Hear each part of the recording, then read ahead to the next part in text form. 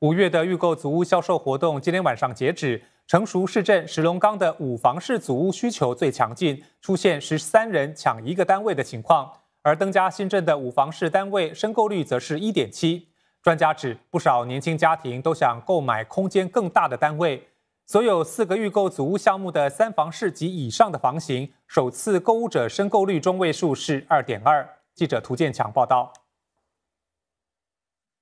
截止下午五点，石龙岗组屋的申购率最高，每间四房式单位吸引九份申请，五房式单位的首次购屋家庭申购率则是十三。专家指，这些五房单位价格虽然接近六十万元，但还是很受欢迎，因为成熟市镇很少有五房单位供应，加上疫情改变了住家需求。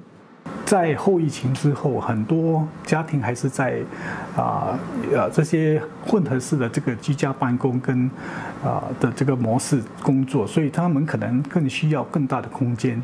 啊来平衡居住跟工作的需求。可能五房式的这个呃单位啊，可以提供他们更灵活的这个空间。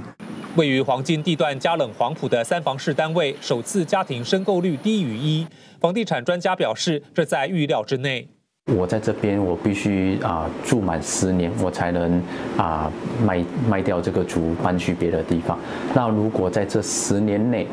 我如果的家庭的结构有变化的话，那我不能搬搬迁嘛，所以我就会想说，我去申请一个比较大的房子。而在非成熟市镇登嘉新镇，这次推出位于英华小学一公里范围内的预购组屋项目，三房及更大单位的申购率都少过二。市场人士指，预购组屋的供应和需求都达到了平稳状态。